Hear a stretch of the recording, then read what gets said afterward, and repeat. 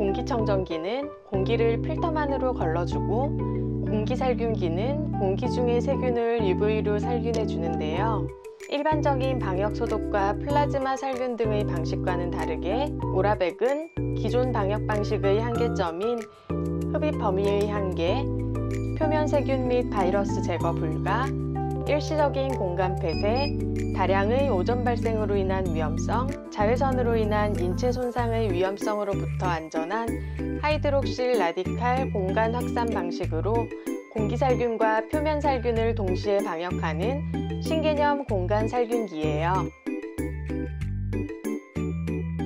집에서 2주 사용 후 필터를 확인해 보았어요. 강아지들 때문인지 탈취 필터에 먼지가 꽤 많이 붙어 있더라고요. 오라백 공간 살균기는 실내 공기의 포름알데히드와 암모니아, 유해가스를 제거해주는 탈취 필터와 초미세먼지, 박테리아, 바이러스, 곰팡이를 제거해주는 H13 헤파 필터를 지나 흡입팬으로 오염된 공기를 흡입하여 하이드록실 라디칼이 생성된 발생기를 통과하면서 공기를 살균하고 살균물질을 외부로 확산시키며 공기와 표면상의 세균과 바이러스를 파괴하는 방식이에요. 팬이 돌아가는 필터 자리가 유독 까맣게 변해 있었어요. 공기가 배출되는 뒷면은 아주 깨끗한 게 보이시죠? 작동 중 필터를 열었더니 화면에 경고가 뜨면서 자동으로 작동이 멈췄어요. 신개념 공간살균기의 하이드록실 라디칼이란 오중 광촉매 모듈에서 생성되는 높은 살균력의 무해한 물질로 GLP 인증기간 살균력 시험과 세포독성 시험의 무독성 살균력 테스트를 완료하였어요. 살균력 실험 조건으로 타사들은 매우 작은 크기의 챔버에서 실험하여 과장 광고로 시정, 공표 명령과 경고 등을 받은 경우들이 많은데요.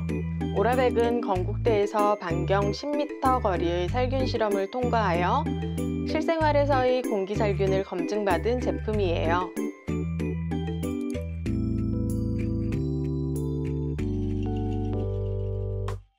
오라백의 살균력을 알아보기 위해서 오라백이 있는 공간과 일반 공간에 바나나를 두고 이틀 동안 부패도를 시험해 봤어요. 일반 공간은 바나나 껍질에 검은 반점이 생기면서 부패가 진행된 반면에 오라백의 공간에는 이틀 동안 거의 변화가 없더라고요. 설마 오라백 하나로 차이가 있겠어? 라고 생각하며 해본 시험의 결과가 보이니 믿음이 가고 너무 신기했어요.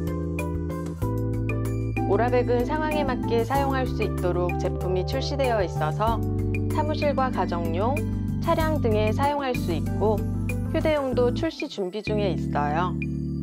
생활하는 모든 곳에서 세균과 바이러스 없는 깨끗한 공기 마실 수 있도록 빨리 휴대용이 출시되었으면 좋겠어요.